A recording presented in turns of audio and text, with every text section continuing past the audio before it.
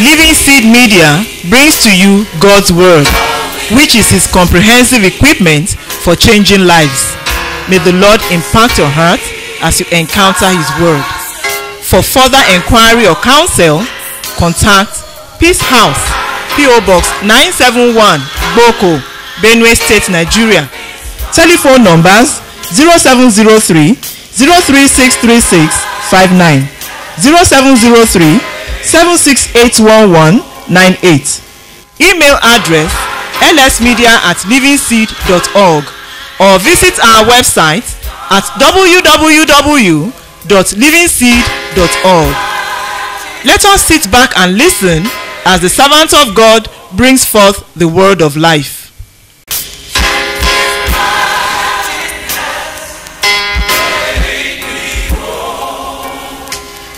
Foundation is the support of a building. It is a part of a building usually below the ground and therefore it becomes unseen. It is that part of the building that transfers and distributes the weight of the building onto the ground. It is also said to be the basis on which something is founded, either as a theory or an idea. The foundation of a building is very critical to the structural stability and longevity of the building. Solid foundations do not come up on their own. Solid foundations don't just evolve, they are usually laid. Two things are very crucial in laying a foundation the quality of the material of construction and the competence of the personnel laying the foundation. This is the crucial segment of your life during which you are laying foundations for your future. I would like you to know that everything you are doing now, there are still foundations. Everything that is happening to you now, they are foundational issues. And that's why we sense it is very crucial that God begins to help us to look at how to lay a solid foundation when we recognize that where you are now, what you are doing now, this present segment of your life, actually, the only thing that's very critical about it is that it is the time to lay foundations. And because of the crucial segment in which you are now, you are actually laying foundations for your future. The foundation of your marriage, the foundation for your for your career, and the foundation for your entire life is being laid now. I must say that the foundation for your destiny, and indeed the foundation for your eternity, is being laid as we are sitting here now.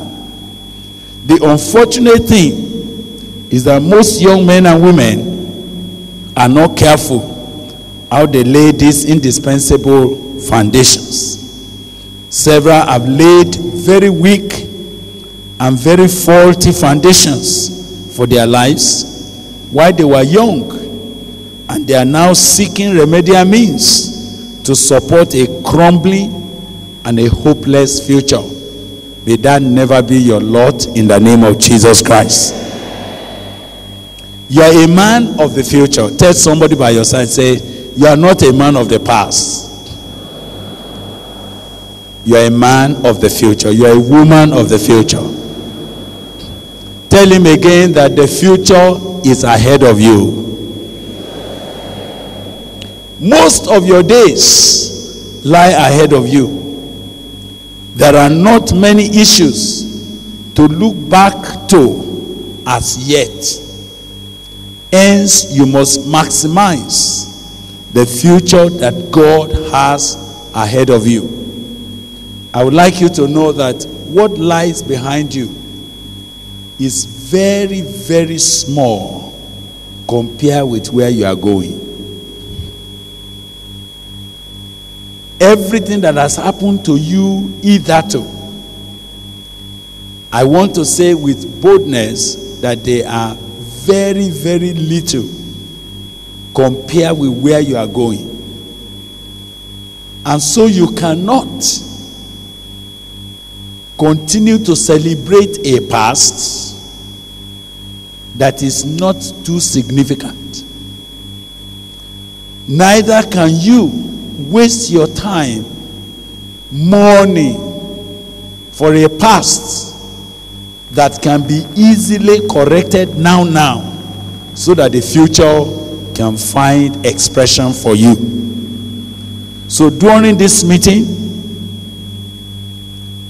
we are trusting God that He will lead you to maximize the days ahead of you, your future. And by the grace of God, we shall celebrate you in the coming days in the name of Jesus Christ. I want you to tell somebody that your generation will celebrate you in the name of Jesus. If he doesn't believe it, tell him that, do you know that my generation will celebrate me in due course?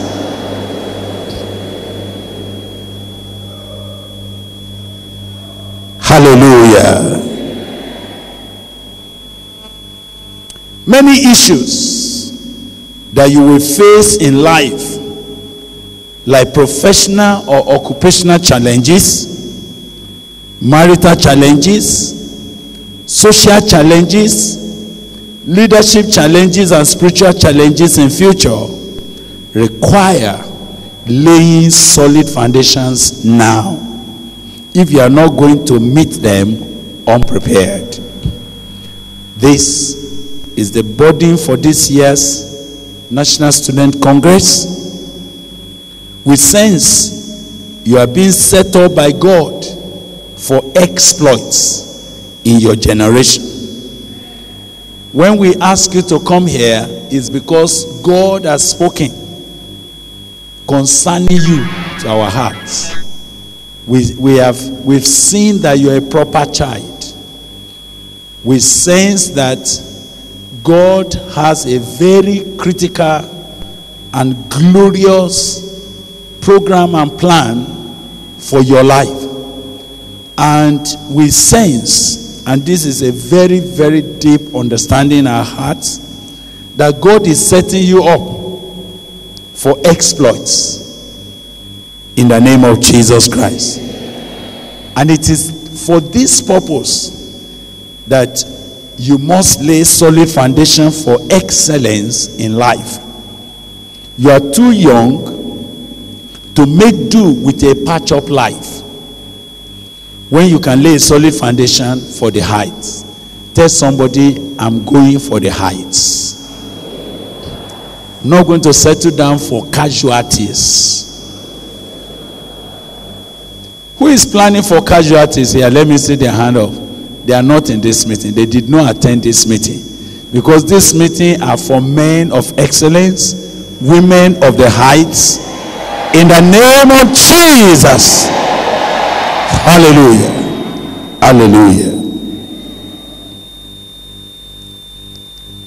We are trusting that in the course of these days, God will show you how to lay solid foundations for every aspect of your life spiritually academically maritally and in every in everything. Hallelujah.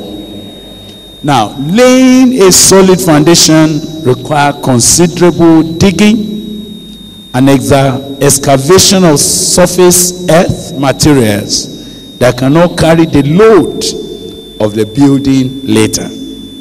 You will do well to allow god to dig deep into your life in this meeting and excavate all that are detrimental to laying solid foundations today so that you can put in the materials of gold of silver, and of precious stone that will last, last, and last until you fulfill God's purpose for you in your generation and at least in the next generation in the name of Jesus Christ.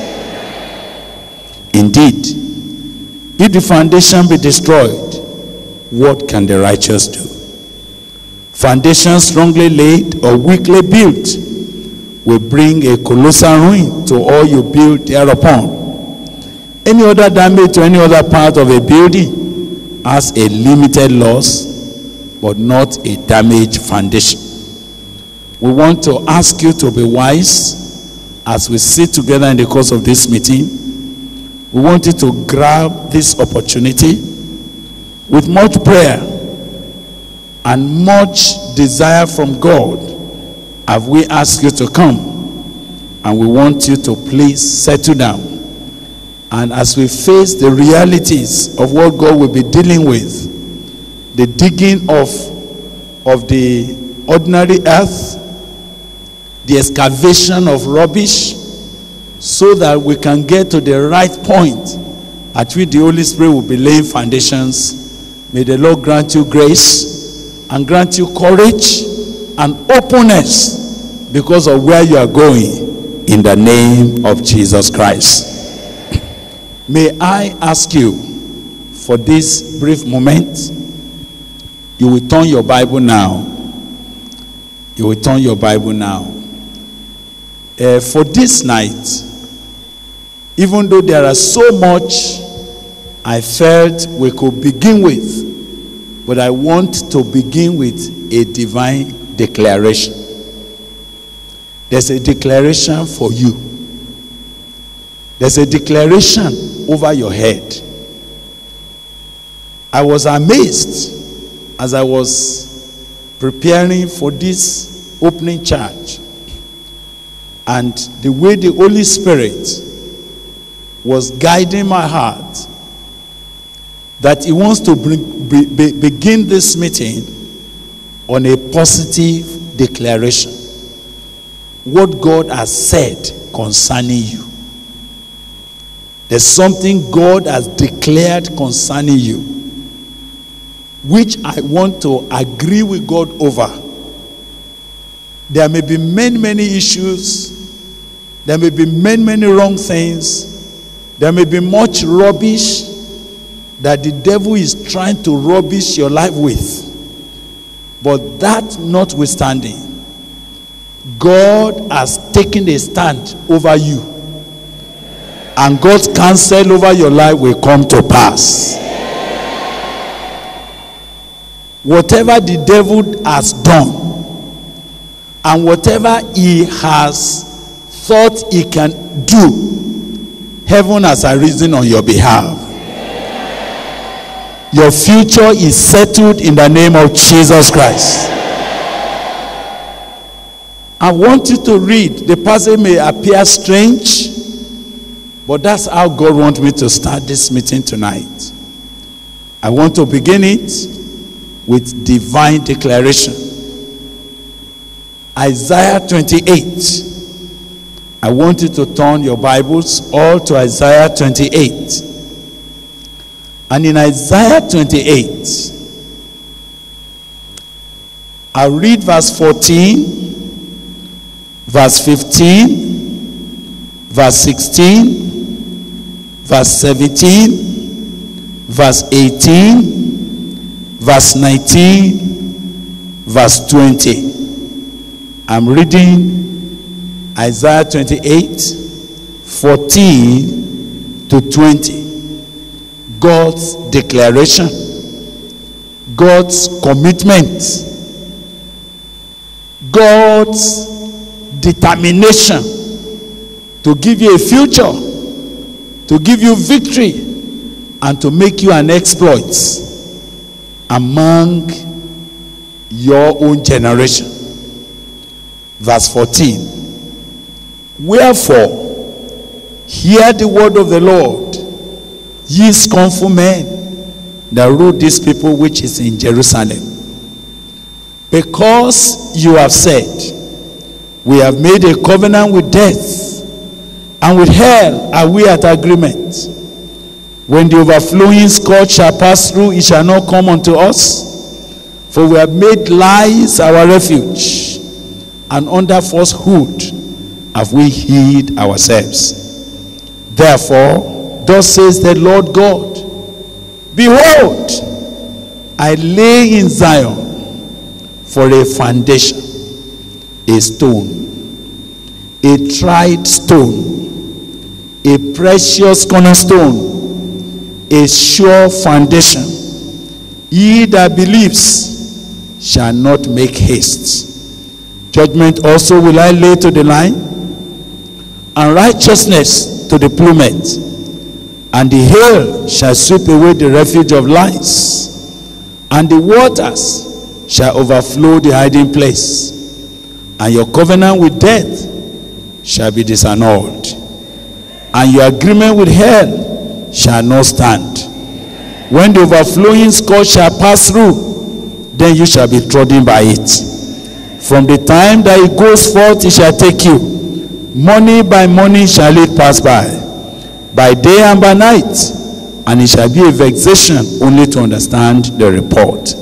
For the bed is shorter than a man can stretch himself on it, and the covering narrower than that he can wrap himself in it. Thus says the Lord.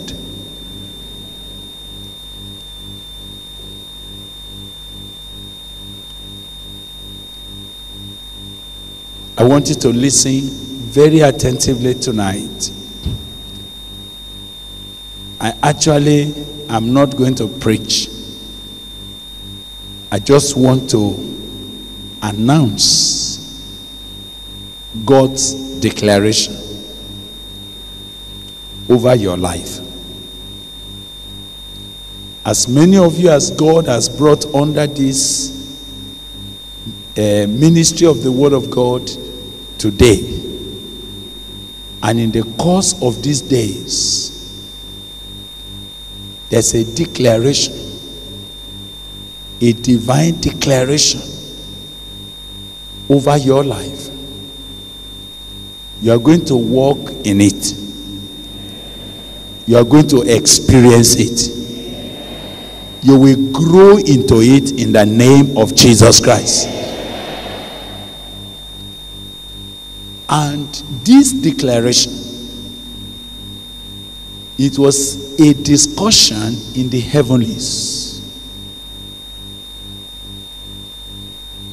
Many, many years ago,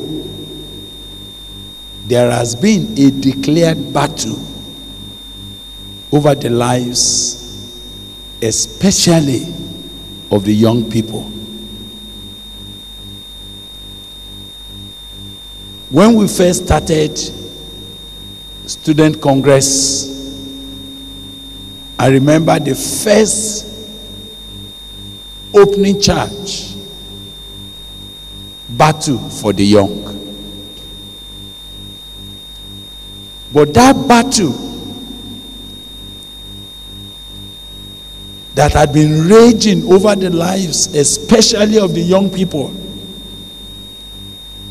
is a battle between heaven and hell. Everything that has spoiled in any place, in any generation, in any country, has always been when the devil has been able to capture the young people.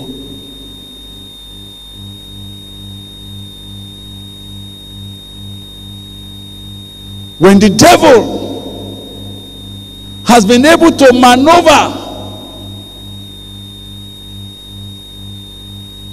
and turn the hearts of the young people for his own exploitation,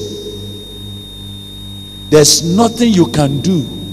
The future will become bleak and hopeless. And as our days are unfolding, you find that the battle is becoming more and more fierce for the young. The things that you do not expect a young person to be grappling with, right as early as possible, the enemy is confronting your generation with a very fierce, a very, very wicked, devouring strategy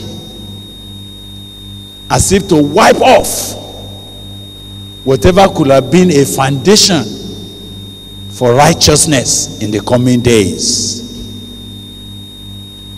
And I saw as if God has arisen to do something deliberate. And your generation, heaven is going to fight for you in the name of Jesus Christ.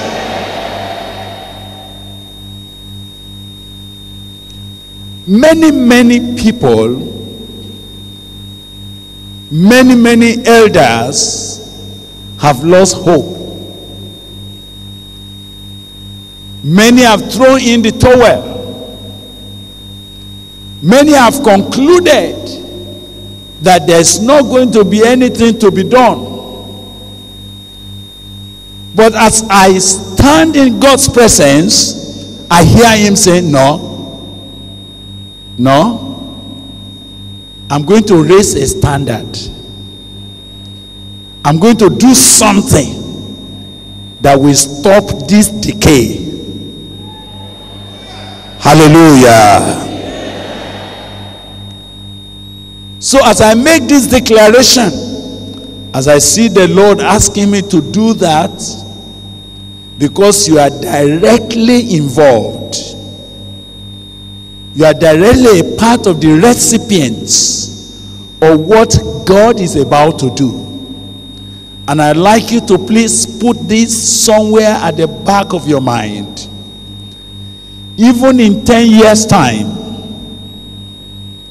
in 20 years' time, as you will be breaking forth in life, this covenant, this declaration God is making over your head will keep standing, money by money, by day and by night. Anywhere you go in life, heaven will fight for you in the name of Jesus Christ.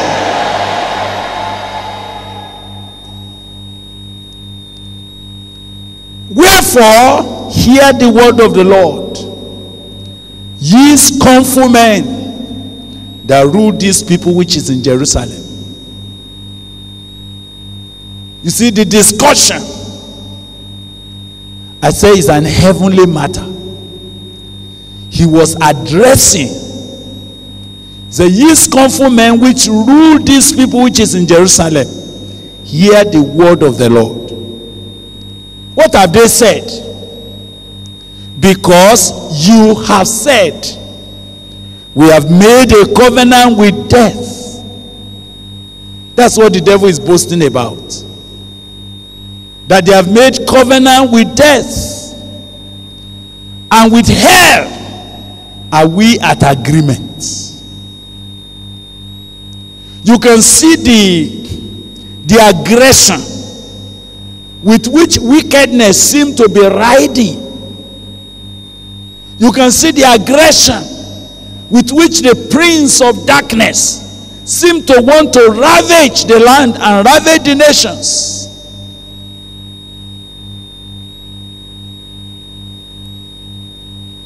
You can see the aggressiveness with which the prince of darkness is seeming to want to overwhelm and consume the entire earth by grabbing the youth.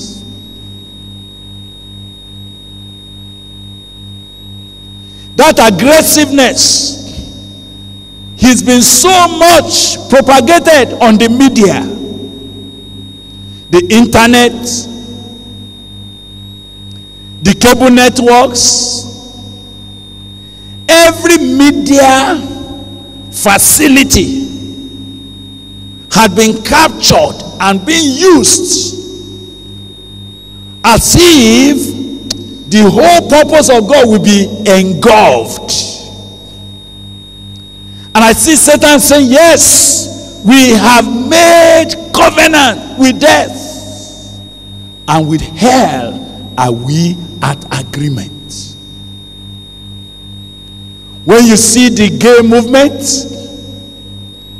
they are so aggressive that it will appear as if anybody dare say no to it, you will be in trouble. Wickedness is jeering at anybody who seeks to stand for righteousness. Such that even on campuses, several things are beginning to happen that is making it look as if it will not be possible for righteousness to prevail anymore. When you see sophisticated advancement of error and of wicked designs, it will appear as if, oh, can we ever have men and women that will survive these days. But hear the word of the Lord. Because you have said, We have made a covenant with death, and with hell are we at agreement. When the overflowing scourge shall pass through, it shall not come unto us. No, that's what they are saying. They are saying that we, we have made lies our refuge. They're saying that under falsehood, they have hid themselves.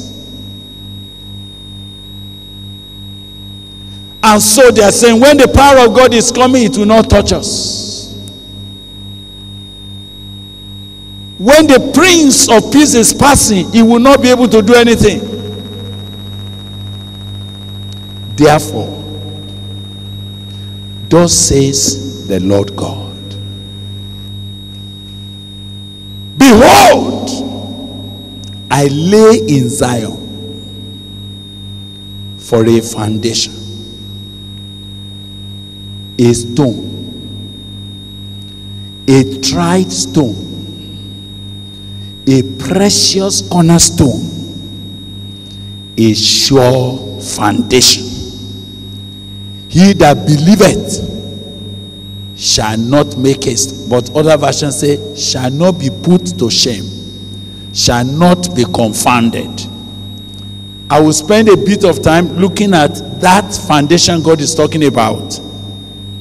But before I come to look at it, let me finish that declaration. Therefore, thus says the Lord God Behold, I lay in Zion for a foundation, a stone, a tried stone, a precious cornerstone, a sure foundation. He that believes shall not make haste. When you want to check who is that stone that God is talking about, who is that stone that God is talking about? Is the Lord Jesus Christ. I want you to know that the foundation that God has laid and He's laying will deal with all the manipulation, all the wickedness, all the covenant, all the agreement we held, and it will scatter and shatter them in the name of Jesus Christ. Judgment also will I lay to the line, and righteousness to the plummet and the hail shall sweep away the refuge of lies, and the waters shall overflow the hiding place. You remember they said, We have made lies our refuge. We are under, we are hiding ourselves under falsehood. That was the declaration from the kingdom of darkness. But here God saying, and the hail shall sweep away the refuge of lies, and the waters shall overflow the hiding place, and your covenant with death shall be what? Shall be disannulled, shall be cancelled, and your agreement with hell shall not stand. When the overflowing scourge shall pass through, then you shall be trodden down by it in the name of Jesus Christ. From the time that it goes forth, it shall take you. Told you that this is a declaration from above. You wonder why am I reading it to you? It's because that is God's position over your case. I am not afraid of all the storms around your life. You will come out of it in the name of Jesus Christ.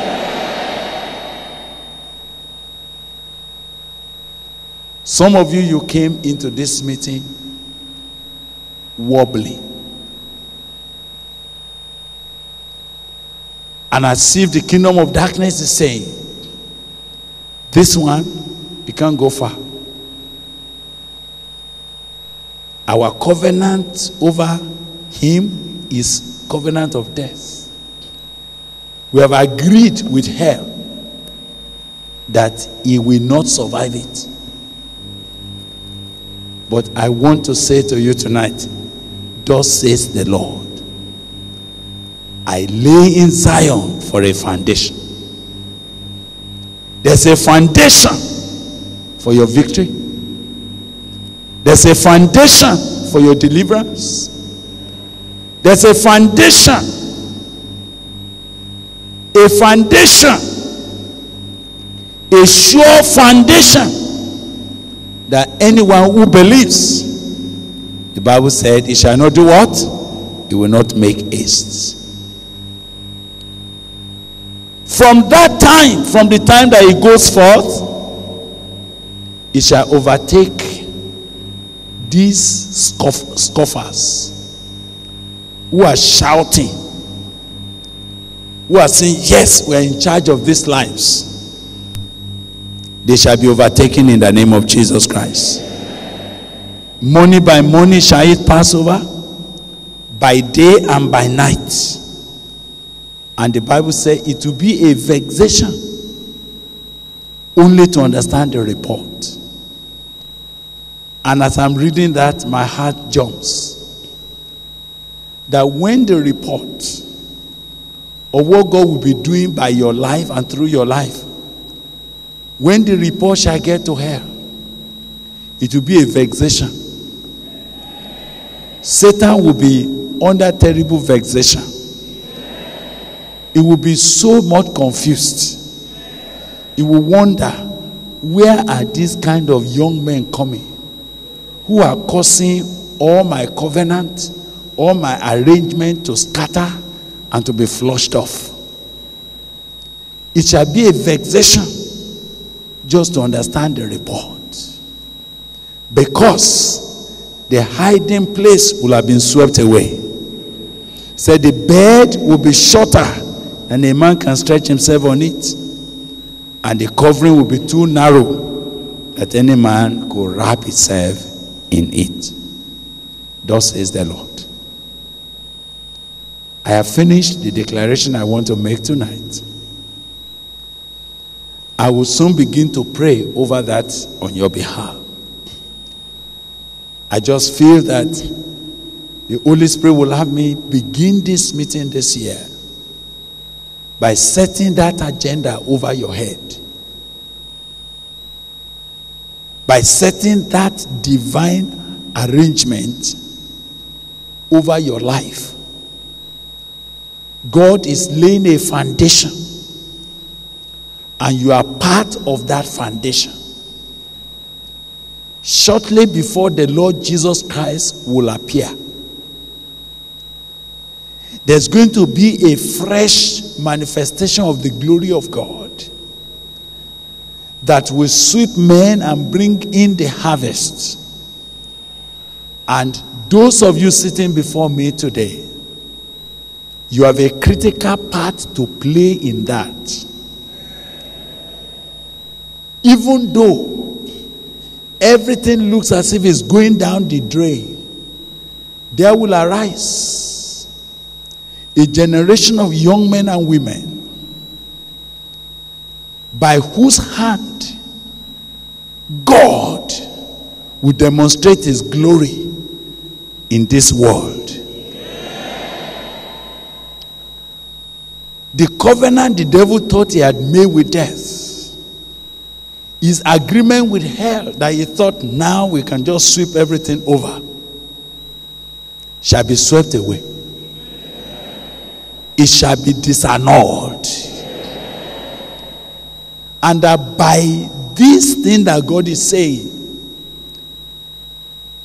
God is going to vex his enemy one more time. But why am I declaring this here before you? Because God is saying, this generation of young men and women that I'm bringing to you, they are that generation that I'm laying a foundation upon their lives for this kind of assignment. So I will be asking God to do everything within His power to set you apart, to lay that foundation for the kind of assignment that several of you be stepping into in different areas of life. Not only on the pulpit alone, in different aspects in academics, in engineering, in ICT, where the devil currently thinks he is sitting and is controlling and is grabbing. God is going to knock him off by your hand in the name of Jesus Christ. There are theories that Satan had released into, into the world for some years that has continued to upturn the generations, has continued to bring about this kind of corruption and decay that we are grappling with. And I see the devil rejoice and say, Yes, we have made lies our refuge. Under falsehood, we have hidden ourselves. When the overflowing scourge is passing, do not come near us. We have found a way to insulate ourselves. I see him thinking, I say, Yes, I have put my hand here, I put my hand here, I put my hand there, I put my hand there. There is no how anything can overthrow me. But to that boast of the devil, I hear God saying, Behold, I lay in Zion for a foundation.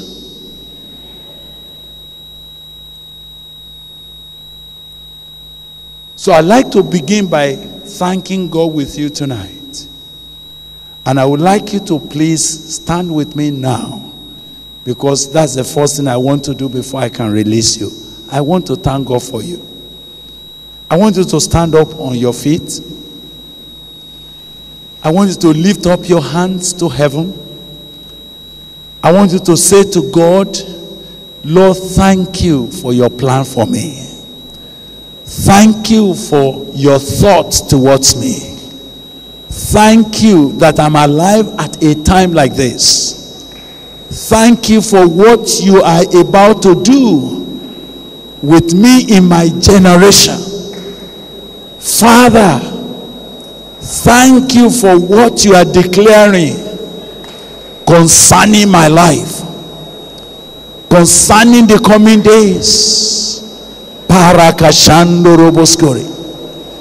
risata yakatorobo shanda baba baba baba rako siba ruka sanda yakatorobo shiri biriba santa karobo subaba shara oh, oh sanda yakatarabasu merika sando koshinda karuba saila bakata sandorobo shinda baba baba baba baba rako sondorobo shinda baba baba baba baba baba for the, the children of God have given me for signs and for wonders for signs and for wonders for signs and for wonders I want you to particularly say to God, I thank you for what you are doing for me. Let me inform you that whatever the devil has done, whatever trap he has set for your life, it shall be swept over. You are a special child born to bring about an exploit in this generation. Reko somba raba shanda bakuri masalibo robos. Meshete yorobo sunda karuba sanda rabashiri. Thank you, Jesus. Father, thank you. In the name of Jesus. Please lift those hands. Just lift it up before God. Lord, I thank you this night.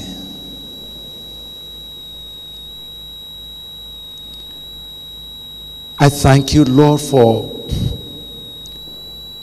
what your spirit is declaring concerning these young men and ladies.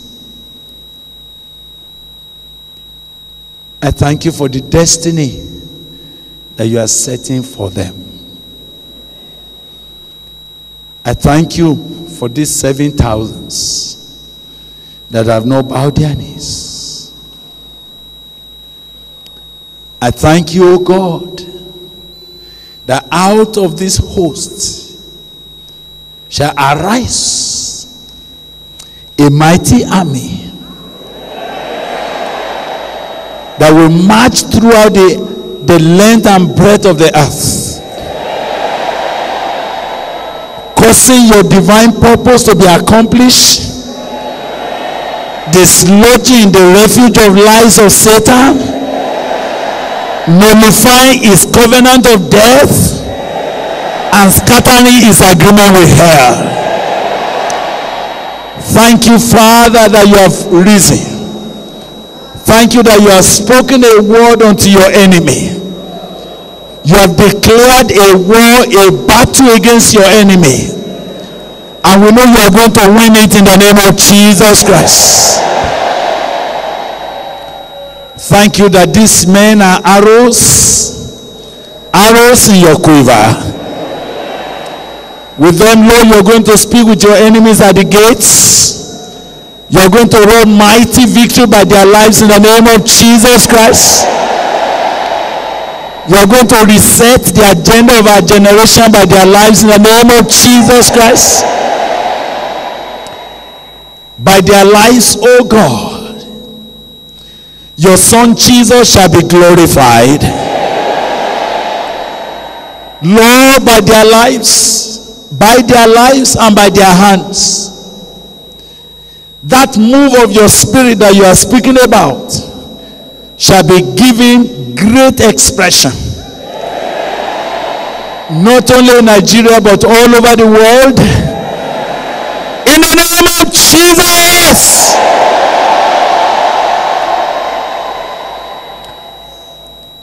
Father, I see a mighty army arising from here. An unstoppable army of righteousness. An unquenchable fire for the love of God. In the name of Jesus Christ. Father, how you chose these lives we don't understand. How your love and your mercy located each one of these lives is beyond our explanation. All we stand here to say this night is thank you, Father. Thank you, Father. Thank you for victory is yours already. Thank you, Jesus. Please put your hand together with somebody and just thank God for him. Say, I thank God for you. You going, we are going to celebrate you in this generation. Just tell him again. Just tell him again. Thank you, Father. Hallelujah.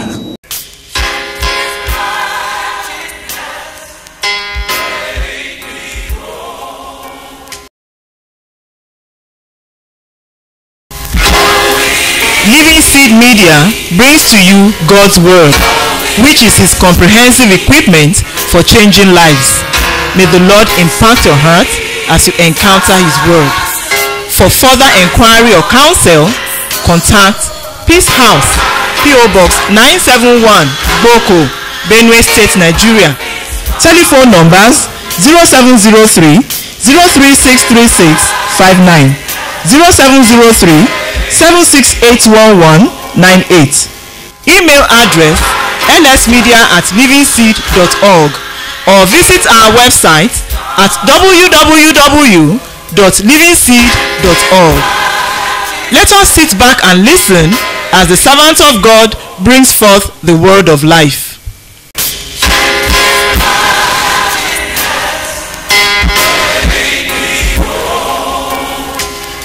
I notice that for the combat that God Himself is engaging in, I notice that for God to achieve it, what He says that I lay in Zion for a foundation. And as I was looking at what God is saying, I lay in Zion for a foundation.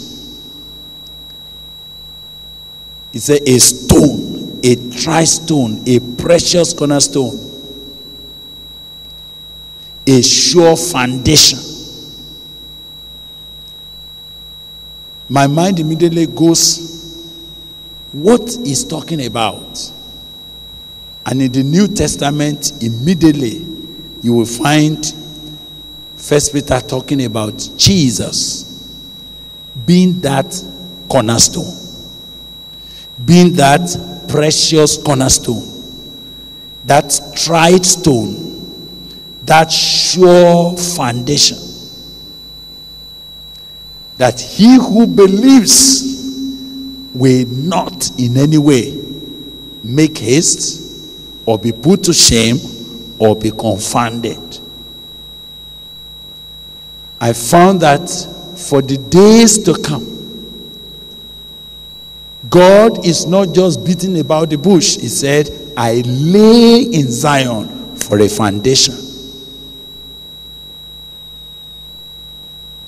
It grips my heart immediately that, ah, so when God wants to do a great thing on the earth, what he does is to lay a foundation for it.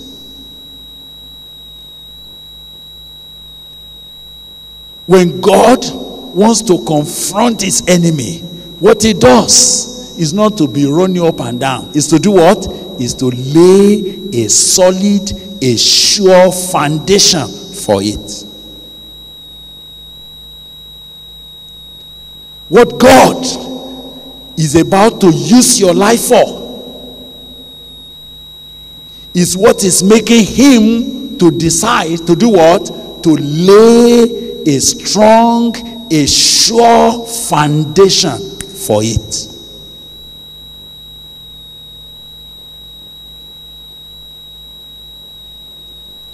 Where God wants to go with your life, the extent to which God wants to move with your life, is what is making God Himself to say, Behold, I lay in Zion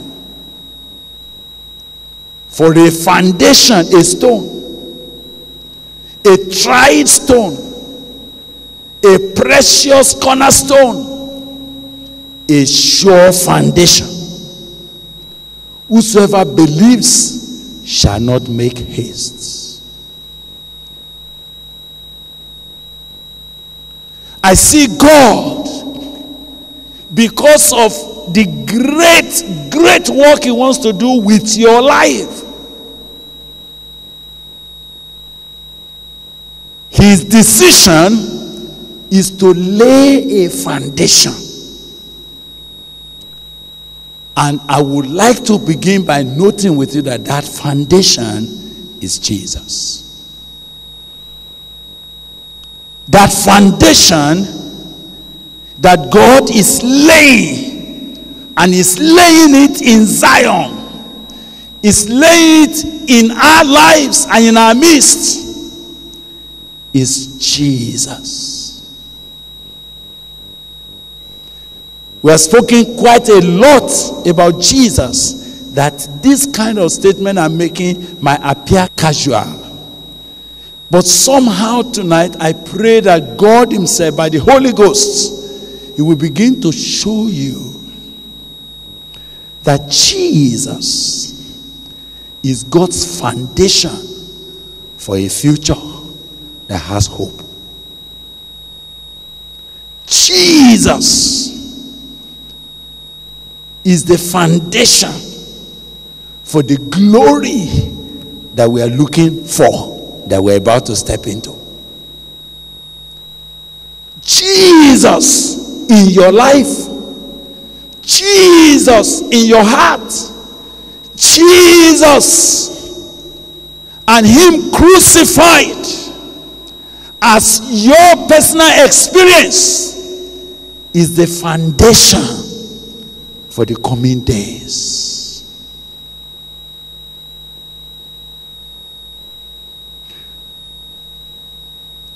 Brother Paul said, There is no other foundation that can be laid apart from that which is laid. Where did he say that? in First Corinthians chapter 3, he said, Let it be known to you that there's no other foundation that could be laid apart from that which is laid, which is Jesus Christ. Peter stood up when they were challenging him. He said, Let it be known unto you that there's no other name given under heaven by which any man can be saved apart from the name of Jesus. Do you remember that? But when we get to First Peter chapter 2, he said, The scripture has said, please go to First Peter chapter 2 very quickly. And I will be tying what I need to do together on that. First Peter 2, are you there? Now, in verse 4, verse 5 and verse 6, he said, To whom coming, as unto a living stone disallowed indeed of men, but chosen of God and precious. You also, you also, as lively stones, are built up a spiritual house and holy priesthood to offer up spiritual sacrifices acceptable to God by Jesus Christ. Wherefore also, that verse 6, are you there? It is contained in the scripture. Which scripture do you think they are referring to in that verse? Isaiah 28. Wherefore also it is contained in the scripture, Behold, I lay in Zion a chief cornerstone, elect, precious, and he that believes on him shall not be confounded. Unto you, therefore, which believe is precious, But unto them which be disobedient, the stone which the builder disallowed, the same is made the head of the corner, and a stone of stumbling and a rock of offense. Even to them which stumble at the word, being disobedient, whereunto they were also appointed. But you, but you, what are you? A chosen generation, a royal priesthood, an holy nation, a peculiar people. That what will happen? Excuse me, that what may happen? That you will show forth the praises of Him, the glory of Him who has called you out of darkness into His marvelous light which in time past you are not a people, but now the people of God. You have not obtained mercy before, but now you have obtained mercy. As I stop here tonight, because of the future that God has for you, because of the glory that heaven is planned to bring you into. He said, I lay for a foundation in Zion, a stone. I lay for a foundation, a precious cornerstone, that whosoever believes will not be confounded, will not make haste, will not be put to shame. To you who believe, he is precious. But unto them which are disobedient, the stone which the builders disallowed, the same is made the head of the corner. And I want you to now listen. I want you to listen. In the coming days, this stone is precious to those of you who believe. It will be the anchor and the basis of all that will begin to happen to you in every area of life. But to those who will be disobedient, the Bible says it will be a stone of stumbling, it will become a rock of offense. Even those that stumble at the word of God, being disobedient, they will stumble, they will crush themselves. But you, you are a chosen generation. You are a royal priesthood. You are an holy nation, a peculiar people that you might show forth, you might demonstrate, you might showcase. That's what that scripture is saying. The praises of Him, the glories of Him who has called you out of darkness into His marvelous light. What must be your response to what heaven is saying? What must be your response? I may not call for a big response tonight because I'm trusting that we'll build on this. But already there's a response that you can give even tonight. Number one, I want you to know that all the falsehood under which the enemy had been operating. All the things that the enemy has done, and you know, very many times when the devil wants to destroy a life, he makes you to hide.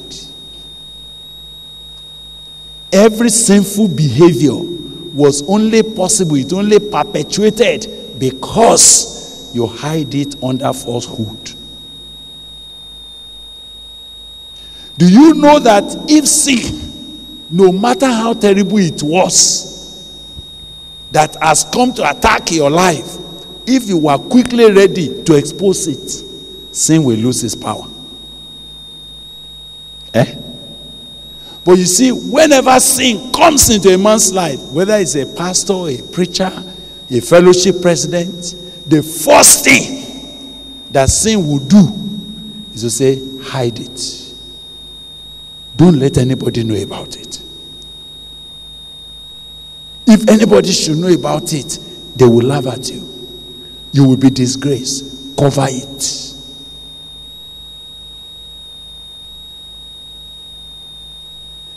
Even though what you have been doing was something like immorality, but the prince of darkness say, cover it, don't let anybody know. So when they say, bro, what are you doing? Say, I'm just praying. You are not praying. You are sinning. Because the prince of darkness say, under falsehood, we have hid ourselves. And we have made lies what? Our refuge.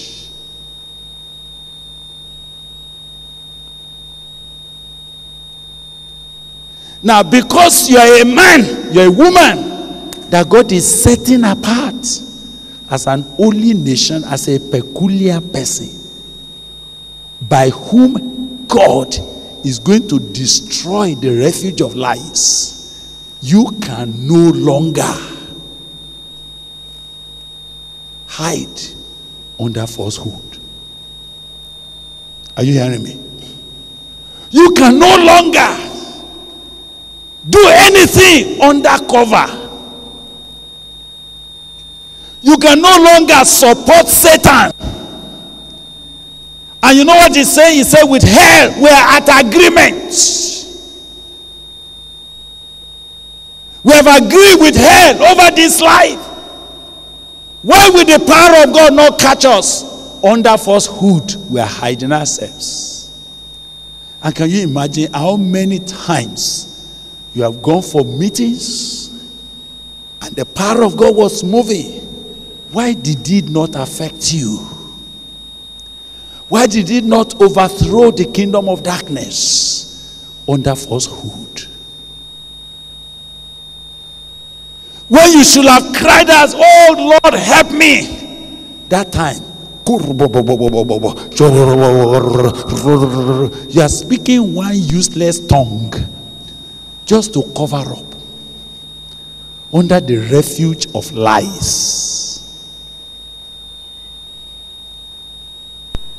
The sister that you claim to be doing Bible study with, no, it was not Bible study.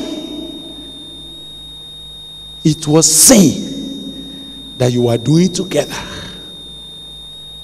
But why with the overflowing scourge of the power of God, why will you not have overwhelmed and sweep that thing away? Under falsehood have we hid ourselves.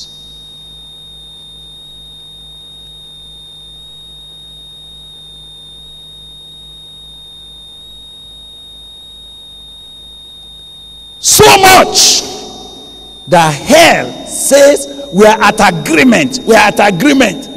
Why will the agreement stand over your own life for the past two years? Because under the refuge of lies have we hid ourselves. But God, God has spoken to Satan. Say, Your covenant of death shall be disannulled, and your agreement with hell shall not stand. Because that life you are camping on, I have set him apart as a peculiar person, as part of my end time army. Your refuge of lies shall be swept away. Listen to me tonight. I will soon pray again. And something will begin to happen in the meeting. Please hear me. Because the overflowing scourge is going to sweep away the refuge of lies. It will be impossible anymore. The wrapper will be too narrow for you to cover up. When that is happening to you in this meeting, are you hearing me? Is because God has elected you as part of the end time vessels with which he would discipline the kingdom of darkness. If, as we begin to pray, you just discover that right inside of you, every cover up, every falsehood, falsehood about exams, falsehood about uh, falsehood. You are telling a young man that yes, you want to marry him, but you already have two men that you are you are building a relationship with back in your hometown. And the two of them they never met because you give them different appointments. That falsehood is going to be swept off. Why will God sweep it away? Because that agreement we heard Satan is boasting about is cancelled over your life. In the name of Jesus Christ. That covenant of death that Satan is saying, until death, I will not let her go. Because of the foundation God is laid in Zion, that covenant is cancelled. I'm going to pray with you tonight, and you will see the overflowing scourge of the power of God sweeping this meeting, sweeping things. Wait, when God does that to you, it's because of the future He has in mind. Those for whom God had no future, He may not affect them. Their mind may look hard. Others will be crying by their side. Sunday say, Don't worry, it doesn't matter, it doesn't matter, it doesn't matter. That's a man who wants to stumble at this precious stone. That's a man that wants to hit his head against the stone. And Jesus was speaking about those who will stumble at this stone. He said they will be crushed into powder. You don't have to do that. You are being gathered because God saw that you're a proper child. God saw that your destiny is not with the devil, is with him. God saw that your divine, the reason why you were born and have been kept alive is because heaven has earmarked you for a glory. Nothing must stop it. Nothing must destroy it. So tonight, as an initial personal response, just initial response, as we will be praying, every activity that has been sustained in your life because of falsehood, every sinful thing that Satan had been plotting, and it has progressed simply because under the refuge of lies. Just imagine how several lies just flows through your mouth to cover up a particular sinful habit. Tonight,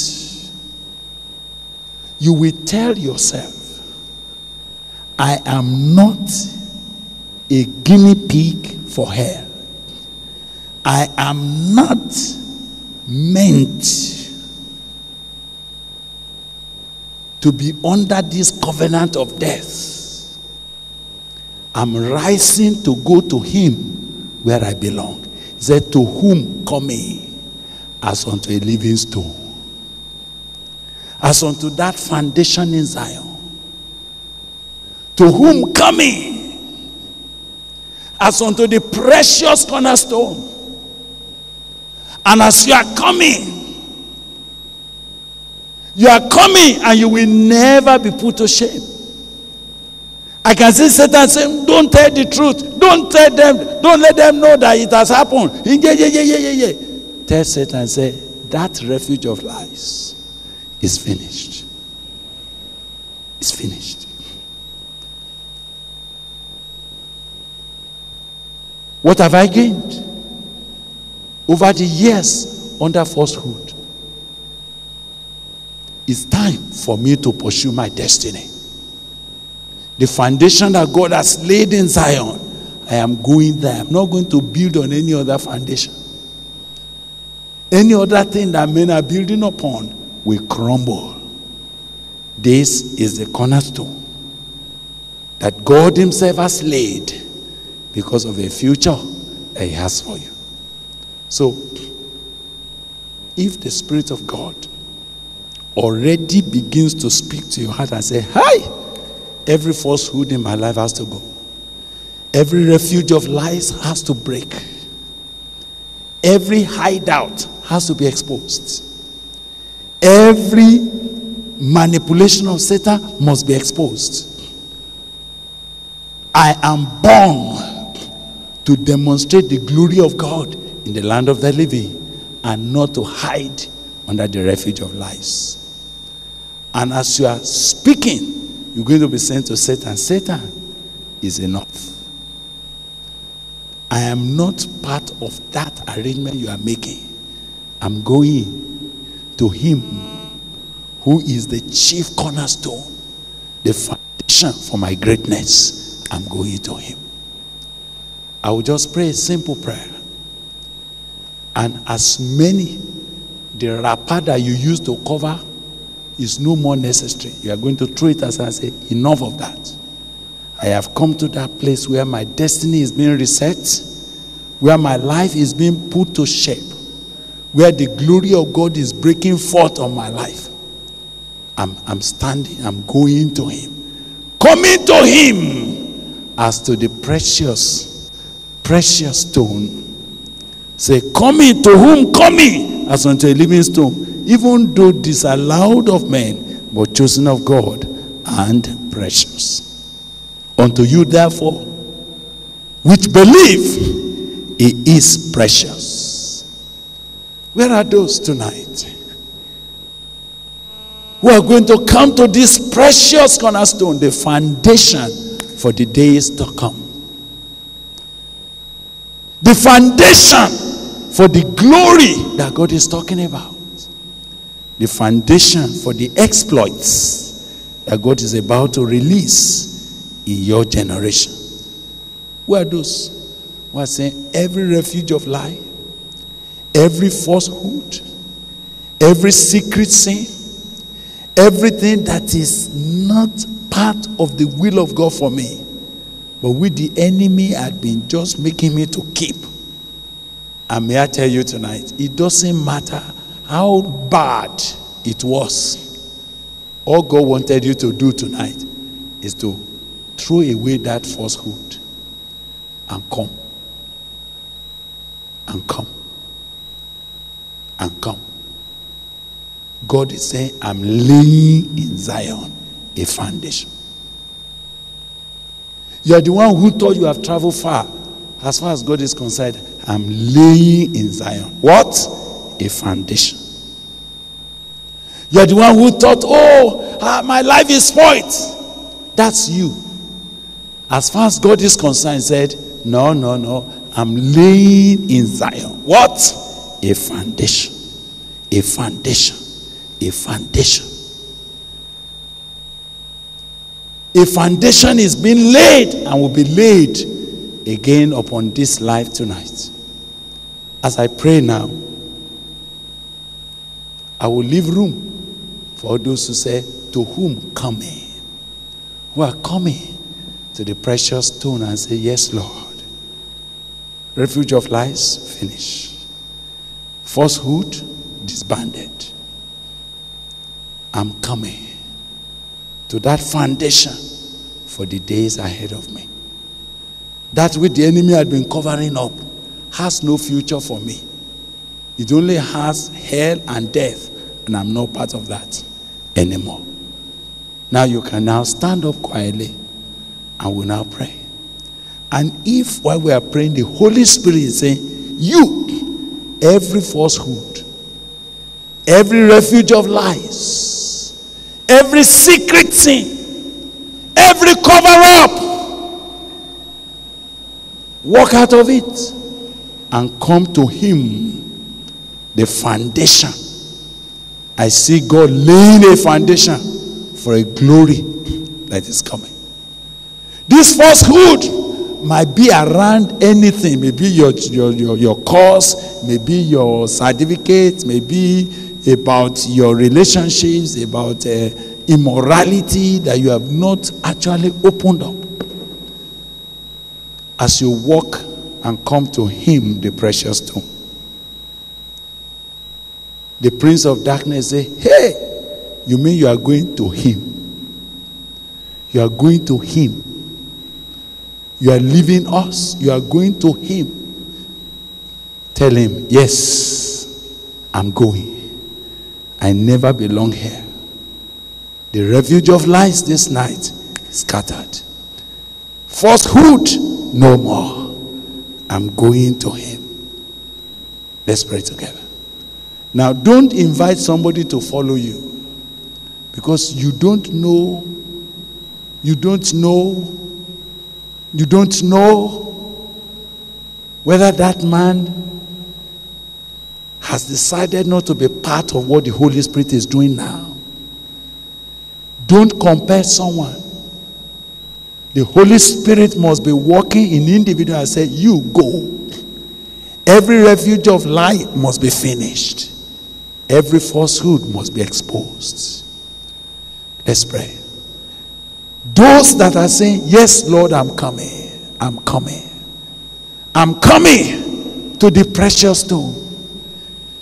Nothing to hide again. I thought I could live under the refuge of lies and be able to manage. No more.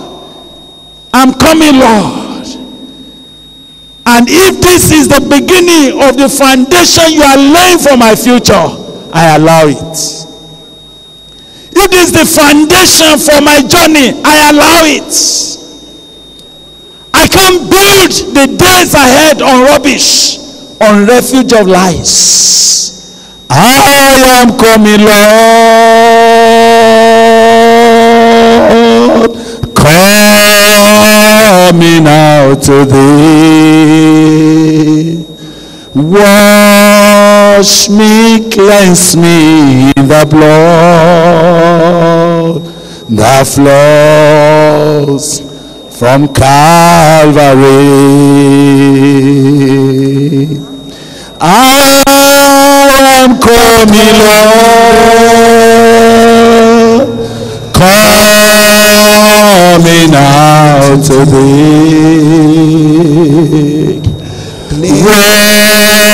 Wash me, cleanse me in thy blood that flows from Calvary.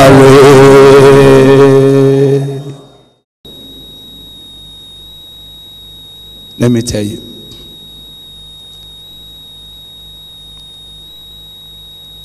The enemy thought that the covenant he was making over your life is for death and for hell. He thought that under the refuge of lies and under falsehood, he will be able to keep you from getting exposed to the overflowing scourge. Several times that God will have delivered you, He made you to pretend. He made you to do other things. Sometimes you are running up and down as if you are the organizer of the meeting. when you ought to open up. But tonight, he said, To whom coming? What has excited me is that God is saying, I am laying a foundation. As if God is saying, I am beginning again. I am starting a deep work in this man's life now. We are going to pray. I'm about to pray. But if you are in the meeting and the Spirit of God is making it uncomfortable for you to stand, you need to run down quickly. We'll take that song just twice. I'm coming, Lord. Whether you're in the gallery or you are anywhere at the back, just make sure you come and get somewhere. If you can kneel down before the Lord, come as close to the altar as possible. I am coming, Lord.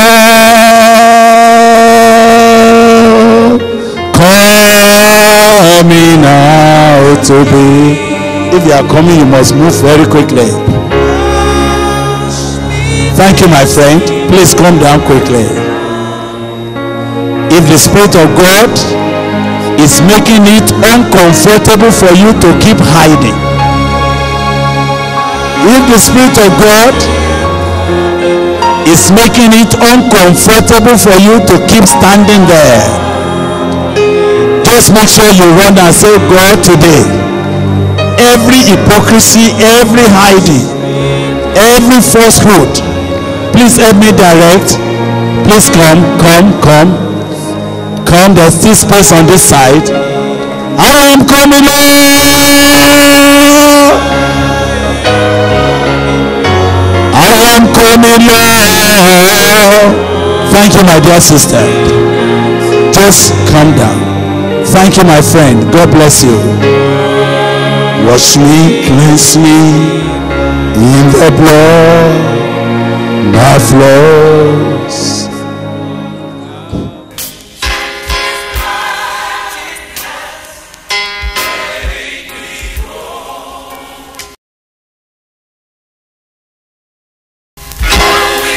Living Seed Media brings to you God's Word, which is His comprehensive equipment for changing lives. May the Lord impact your heart as you encounter His Word.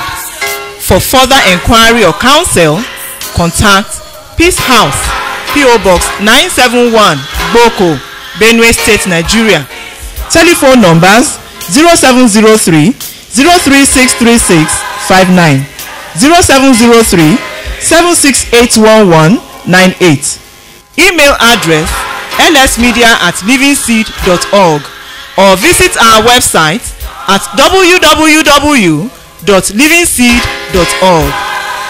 Let us sit back and listen as the servant of God brings forth the word of life.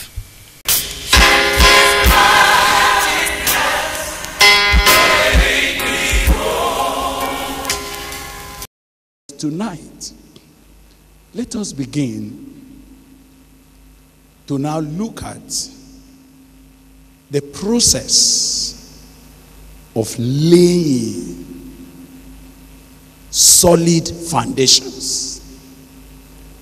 And I will be looking at the, the present continuous word, laying. Laying solid foundations for the future, for everything that you are intending to become for God. And I will draw your attention to two, three verses of scriptures. Since it's a process, I don't intend that we can finish it tonight. We will simply start looking at the process of laying solid foundations for an enduring life, for a fruitful height, whether in your career, in your marriage, as has been shown, in your personal walk with God, and in the vision into which God may be calling you, and even the ministry that God may want to put you into by His mercy. How do we lay foundations for such a future? Two things that will characterize our study tonight is that we want to take a scripture, and that scripture, God will use it to begin to show us God's own process of laying foundations for a man's life. May I ask you to read the book of Luke, Luke chapter 6. I want you to turn quickly to Luke 6. And when you get to Luke 6, I'd like you to see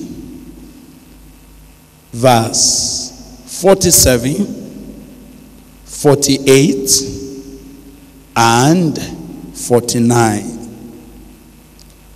And in these three verses, the process of laying solid foundation has been clearly highlighted.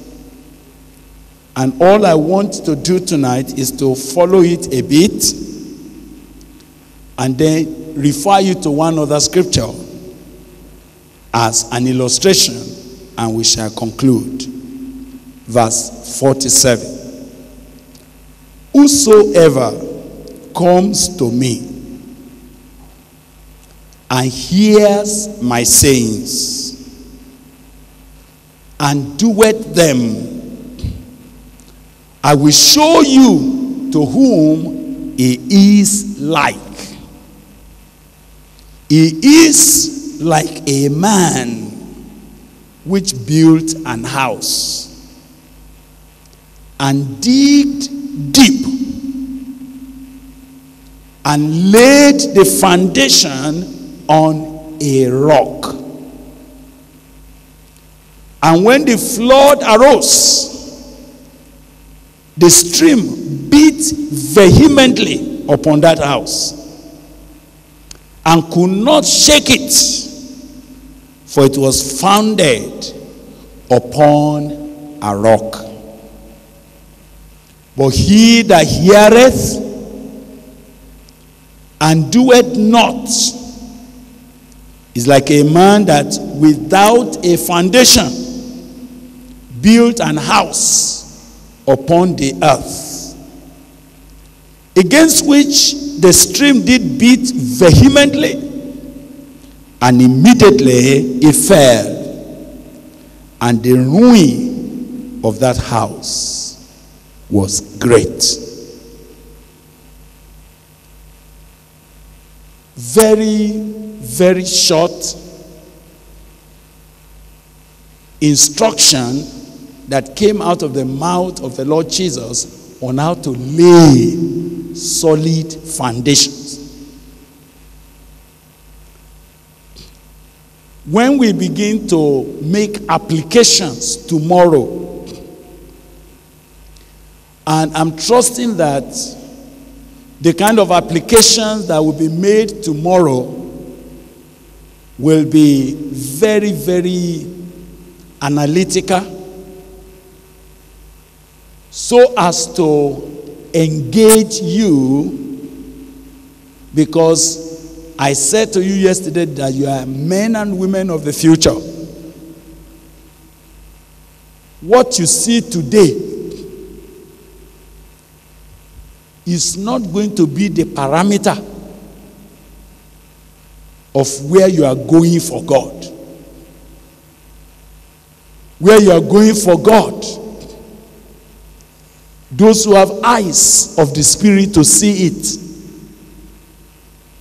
is an elaborate manifestation of the glory of God for which God is beginning to capture you and to prepare you for. So, this particular process of laying solid foundation, I would like you to follow it item by item. I'm not going to be able to have time tonight to do elaborate explanation, but there will be the principles on which what we will be saying tomorrow and maybe finally on Monday will be coming out. The first thing is the word whosoever.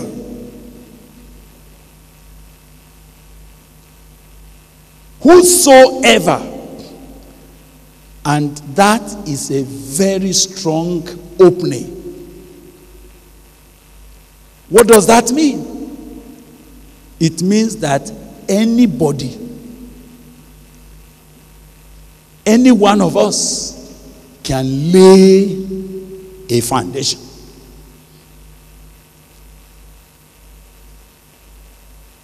And the way the Lord Jesus began to say, Whosoever, the implication of it is actually that you can lay a solid foundation for your life and for your eternity if you choose to do so.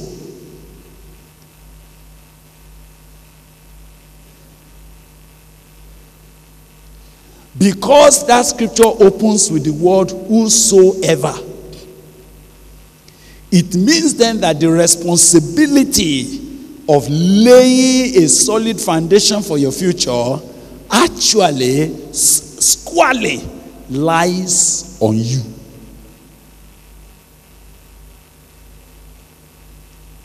Brothers and sisters may encourage you, they may challenge you, they may preach to you, they may pray for you, but the responsibility of laying foundation for your future is squarely and totally and exclusively yours. That is the first thing I want you to know. Sometimes you may blame somebody, you may blame your father, you may blame your mother, you may say, My parents, they are the ones that did not help me when I was young, and it's because they don't have money and all of that. Let me tell you the truth is this you are not the only man that came out of a very poor family. There are many, many men like you who, if we were in the Yoruba language, they would describe them as those who grew out of a rock. That is, who came out of a very dry, unbreakable, untillable background, and they have become great. Let me again say one or two things that you need to keep in your mind. Am I communicating with you? Where you were born, who born you, how you were born does not determine who you become in life. Let's pick it up again.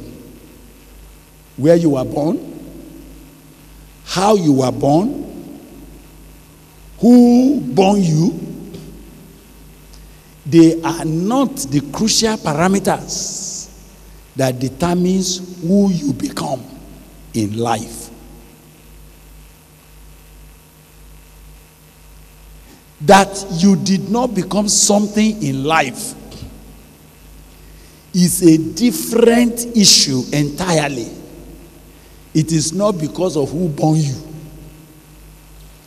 There are many people that were born by big men but who never became anything serious because the issue of what you become in life, even ordinary life, squarely depends on the foundation you build for it.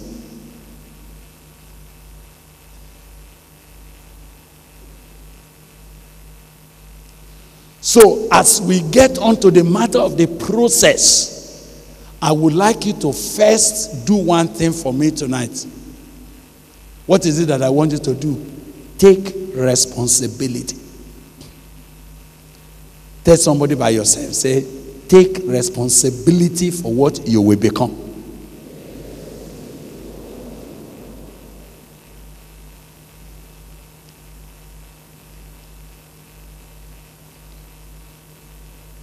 Take responsibility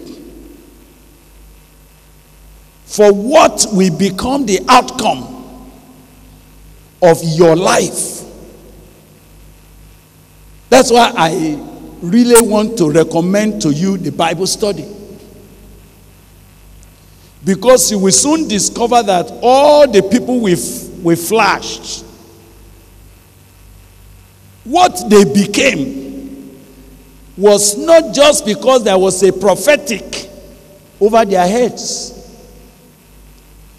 It was not just because God particularly favored them. There's a place for divine favor, there's a place for mercy and all of that, but there is a place for personal responsibility to actualize the purpose of God for your life. Now, the second point I want you to note before I go away from the word whosoever is that you are not too young to take responsibility. What did I say to you? You are not too young to take responsibility for what you will become in the coming days.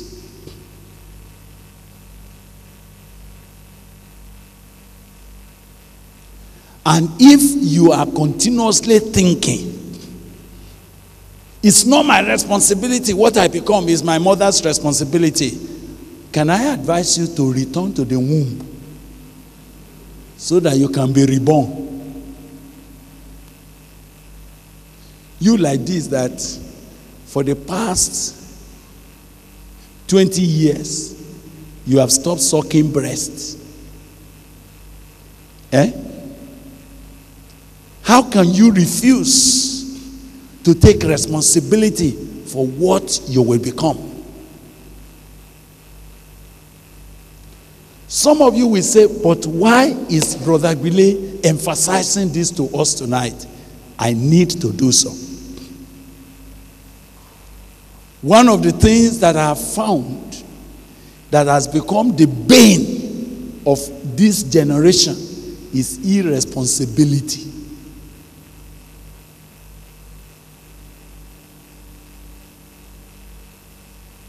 Several would like to blame. I think we were interviewing a young person for a job when I was still working. And he came with a third class or ordinary pass, I can't remember. And when we began to examine, why did you get this on this? Why did you get this on this? Why did you get this there? Why did you get this? Do you know what he said? He said, How do you help me? How do you expect me to get anything better? When the lecturers were always on strike.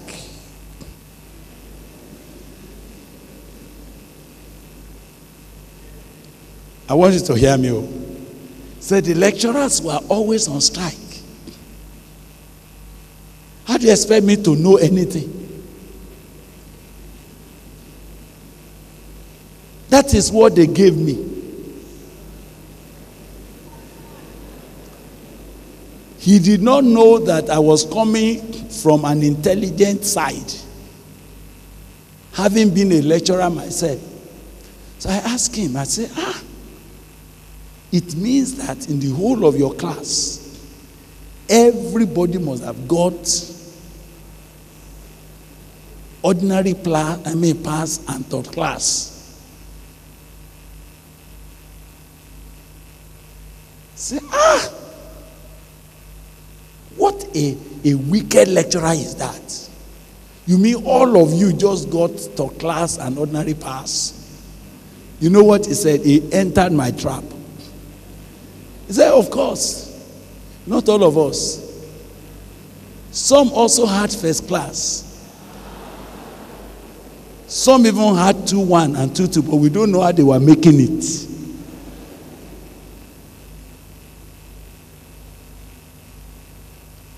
So you mean that those ones must have just been uh, lecturers' favorites who decided just to dash them first class without working for it? He said, No, he said, some of those boys, they are book mantis. Every time you see them with their books, I say, Ah, it's okay. It's okay. You already know that he did not pass our interview. I could not sympathize with him, not because he had third class or ordinary pass. I saw a man who will not accept responsibility for his own failure.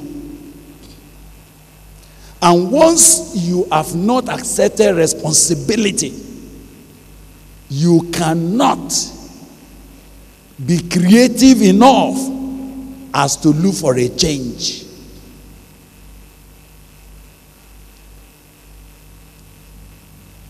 So many people have damaged their future because they refuse to accept responsibility for the, what they will become.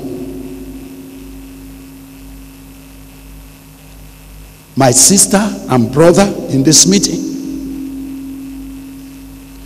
I want you, under God, to take responsibility for the coming days. I want you, under God, to accept responsibility for laying a foundation that you will not be ashamed to talk about to your children.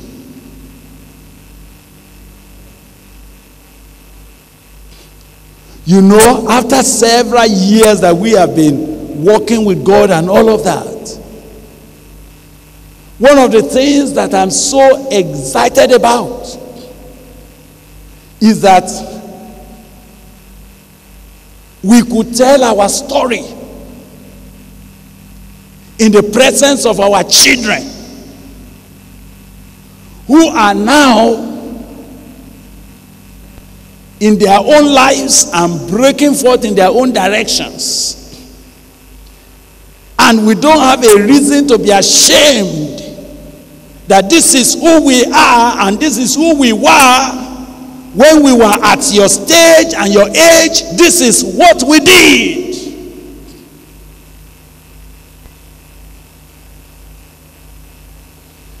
Do you know that it is not at this age that I began to think about what I would do with God? No. It was at your age. Hallelujah. What you are seeing today as Peace House with all that God is doing with it. Are you hearing me? As exciting as it may appear, God is good, God is great, God has worked. But let's face the fact. When I crossed and I carried my bag as a corper and crossed the river Niger at Shintaku. In those days of bad roads, I was taking my life by my hand and I say, Oh God,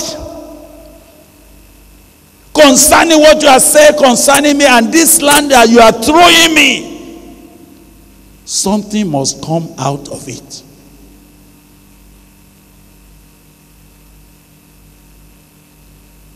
Something must break out of this life. I take responsibility under your God for what you are saying I will become. And there are some of my friends here who were my first friends when I came into this place. In those days, there were no good roads, no road actually. We spent two days to come from Ibadan to this place. You cannot, you can't make it in one day at all. And I remember that when we came in and I said, God, this is where you have thrown my life, something must come out of it. I was sitting alone in my room. So let me inform you that whether fellowship or no fellowship, you have responsibility for what you will become. Whether brothers or sisters are around or they are not around, you have responsibility to lay a foundation for a future that you are desiring God will give you. And I'm alone in that in that room. And I'm saying, "Oh God, I am here. Father, I am here." Because there is no telephone. There is no poster. The whole of Gboko, in fact, the whole of Benue State the only, I mean, the whole of Tivland, the only post office we, that, that there existed then was Gboko. And there were no post office boxes. All other towns, they only have what we call postal agency. So my address that time was Gbile Akanni, Katsina-Ala PA, Gboko PO. Finish. And when you send a letter to me, just count at least three months if I will ever get it. And where we were was not clearly demarcated on the map of Nigeria at that time.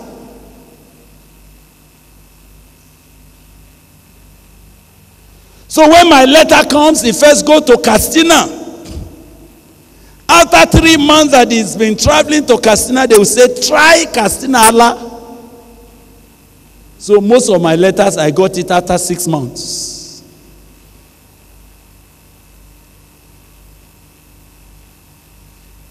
And I'm inside that place. And because there was nobody to pray with, I prayed with myself. Just inside that room, I say, Oh God, oh God, do something, do something. And one day, as I was praying, the Lord, in His mercy, opened my eyes and said, There's a brother that I'm going to bring to you. He's coming this afternoon. He will say that he's supposed to move to somewhere in the north, somewhere in Gongola. I am not sending him. Oh. When he comes, he will tell you like that. But he's not to go anywhere. Ah, I don't know this brother. I've not known any brother. And that afternoon, I just finished praying. And Brother David Achema, Brother Achema is here. He's one of our resource persons. He has been my friend. He was my first friend. We have been friends for this many years. So he walked in, he said, he just knocked. I said, Yes. He said, uh, Brother, are you the Christian corper that has been posted? I said, Yes, sir. Then I said, Please sit down, sir. He said, as he was praying this afternoon, it occurred to him that he should just pass and look for me so that we can share. I was still jittery. I said, Is this the man you told me about? And the first thing my brother said is that actually he is thinking of moving to relocate. And as I was looking at him, I just adjusted. I said, eh. Are you sure? I don't think so. I think the Lord said you should remain here. Let's pray. That day was Tuesday. September maybe 6 or 7, 1980. Yes. That's how me and brother we started a two-man prayer. We prayed that afternoon. We were not satisfied. Said, let's meet in the night. Brother David, do you remember that's how we started our Tuesday every week night vigil? Two of us. Take responsibility for a future that God is talking to you about. Don't procrastinate taking responsibility. When do I want you to take responsibility? Now, and actually from tonight.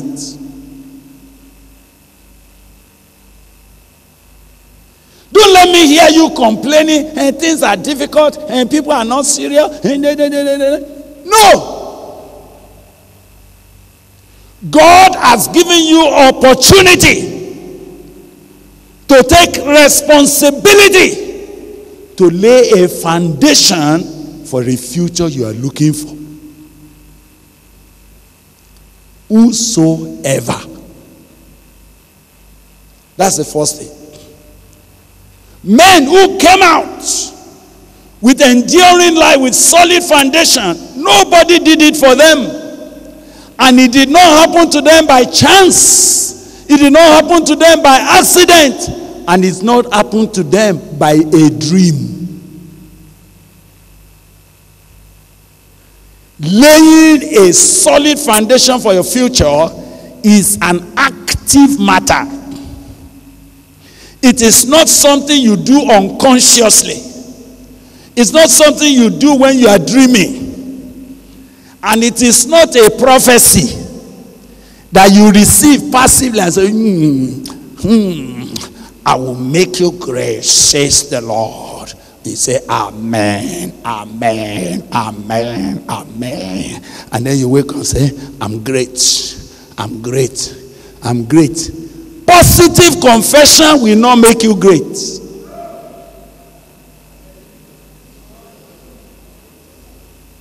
There are people that have been making positive confession for the past 20 years. They have become nothing. Because it is not positive confession that lays a foundation for the future. It's not wishful thinking. It is not even a good desire. It's a personal action that you have taken as a responsibility to lay a foundation for where God is taking you. Did you hear that? That's the first issue.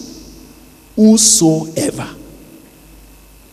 And when he used the word whosoever, may I tell you that that means it does not depend on age, it does not depend on status, it does not depend on how much money you have. No. Whosoever.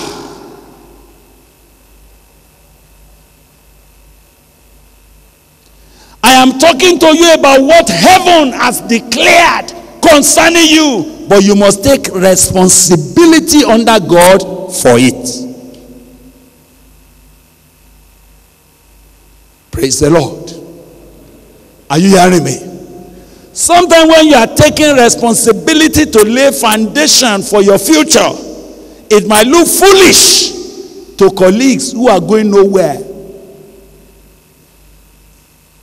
It may appear extraneous to your friends who are short sighted.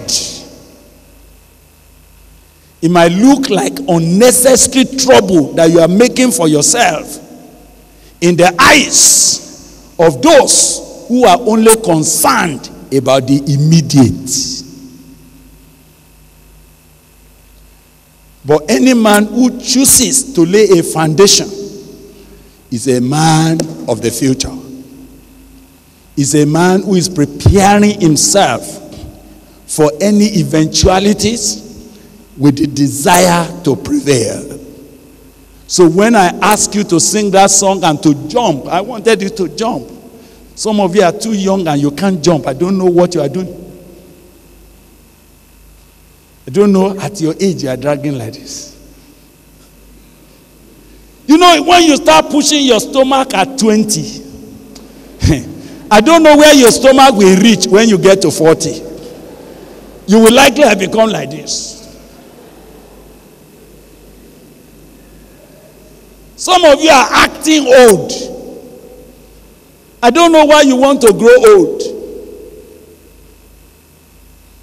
Do you know that old age is only celebratable when there is something to look back to?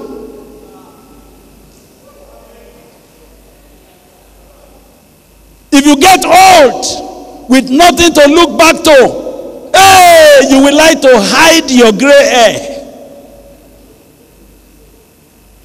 Then I will see you doing dying. You will start dying, dying, dying.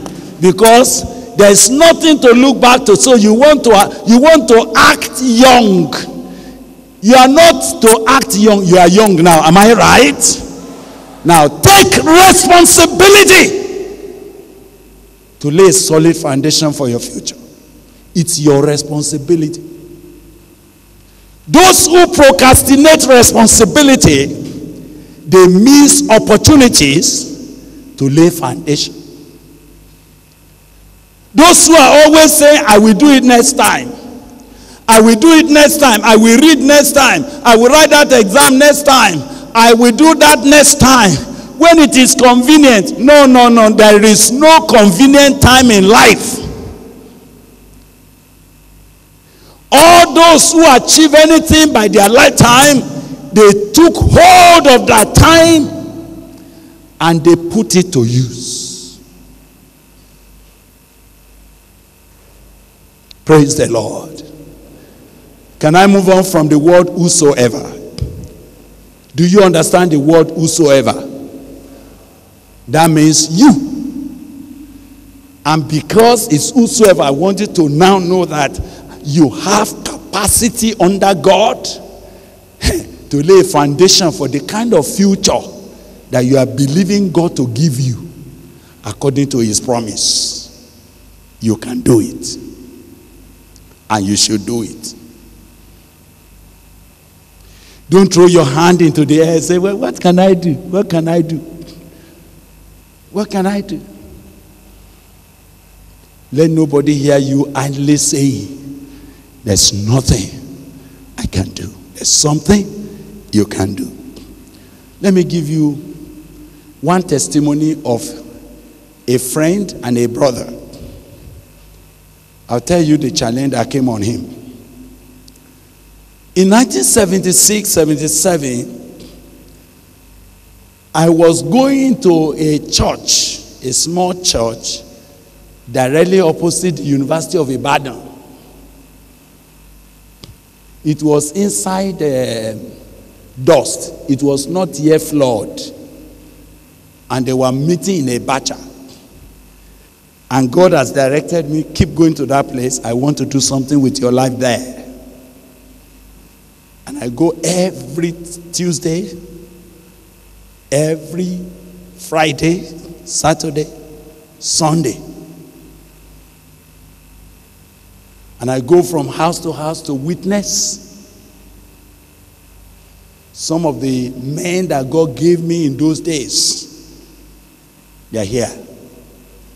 Some of their children are your colleagues in the universities, and it's good. But now there was this man that I encountered in that church. I want to, I'm telling you his story because I really want you to hear me. He had been in the soldier, he was an army, one of the recruits. And so when the Nigerian Civil War finished, he was laid off. They were part of those that were laid off, but he had primary six only. And by the time I was meeting him in this church, he was already married with, I think, three children. And in order to make life meet, he was a taxi driver. He was Danfo, Danfo bus driver. Do you know Danfo in the West? Danfo bus. Dugbe, dugbe, dugbe, dugbe. So one day, I preached in the church. He was there. And he gave his life to Christ. And as a bit of following him up, I followed him to his house. And this brother said to me, he said, Bro Gbile, where do you get the kind of way you used to preach? The way you are preaching. It seems as if the whole Bible is in your head. How can I become like you? It's because I couldn't go to school before I went to the army. I only have this primary six. What can I do now? I want to be able to read Bible in English and be able to, you know, the way you preach just impress me. He was the man that challenged me about the Holy Spirit. Say, you people praying in tongues. What, what is all that now? He was the one. And I sat with him in his house. On the day I wanted to explain Holy Ghost to him, we started from 8 p.m. 8 p.m. and non-stop. I was explaining the Holy Spirit from Genesis, Exodus, until we got to Acts of the Apostles, until 4 a.m. Well, I don't know why you are shouting. If I preach to you two, three hours, you are tired. I wonder why. It's just because I've changed, though.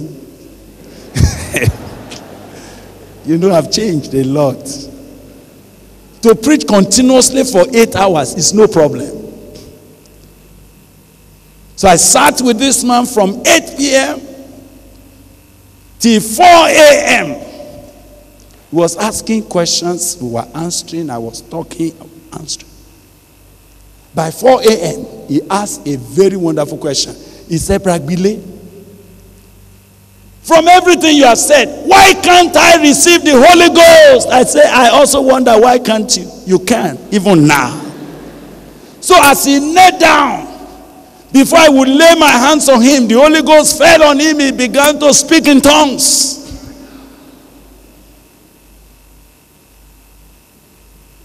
His wife, that was a very, very stubborn woman, was startled out of sleep. You know, she's been sleeping since 10 p.m. So when she heard us pray in tongues, out of annoyance, she just woke up said, What kind of foolish thing are you people doing? Like when you will not let anybody to sleep? Before she will finish saying that statement, the Holy Ghost caught her and knocked her on the ground as she began to speak in tongues. She spoke in tongues, spoke in tongues, was foaming in her mouth.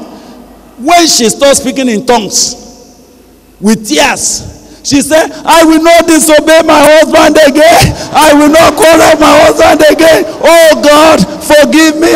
I am sorry. Oh. Hallelujah. So I lay hands on her, led her to receive Christ. That was a new beginning in that family. And I told the brother, I said, the fact that you're a primary six now does not say that's where you will end.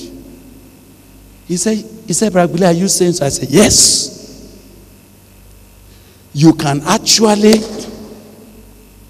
begin to prepare for your GCE. He said, me?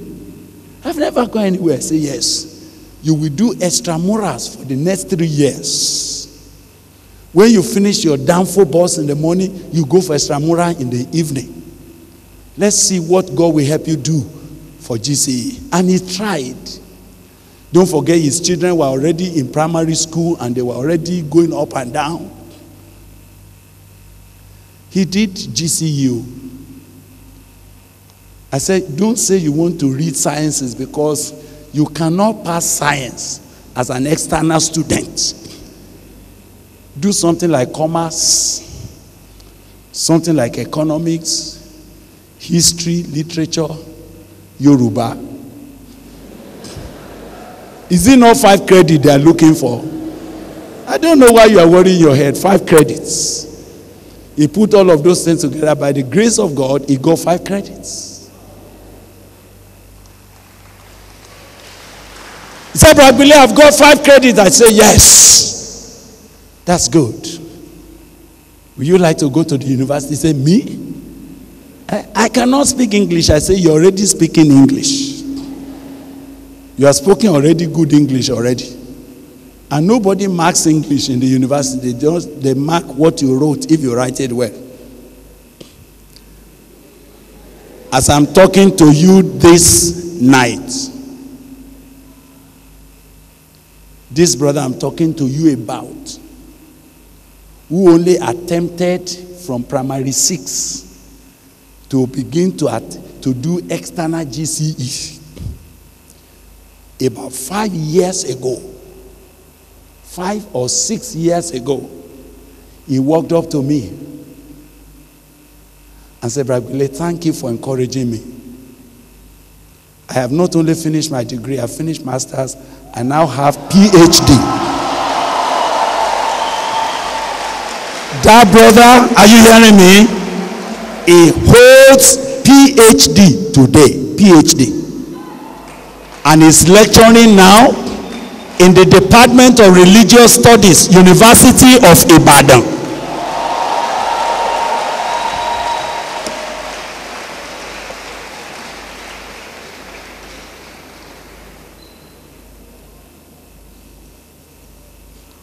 What are you talking about?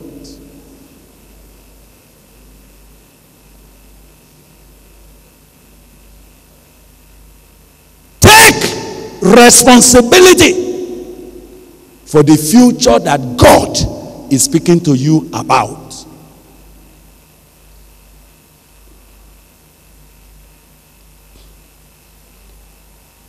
When I met him and we were talking, he is completely now an academic.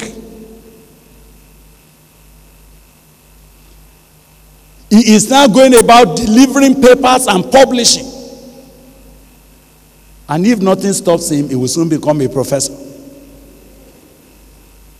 But as you see me here, I spoke to him when he was holding primary six. And he's up there. There's nothing that stops him. What we are dealing with now, say, correct your foundation. You had a, a, a result that you faked, or they gave you a false degree certificate that cannot carry you anywhere. How can you go about with that for three years? Who is telling you that that is the end of your journey? No! Put that thing aside. Go and take your JAMB. But because you know where you are going, you are not part of the lazy student around. You are working. And in another four years, that past story will have been forgotten. And then you will begin to push into the destiny that God has set for you. Take what? Responsibility. Who can take responsibility? You, you. You can take responsibility. Part of what I'm trusting God is that by the time I'm releasing you on Monday and I'm praying for you, I will be praying you into your destiny in the name of Jesus Christ.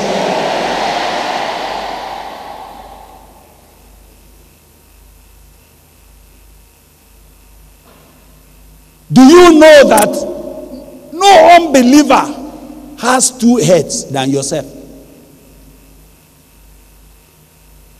There's none of your classmates that is anything that you couldn't have become much more with the grace of God that has come to you. May I say to you, take responsibility. Don't just talk about it. One of the things that I found among Christians, they talk too much. When you are supposed to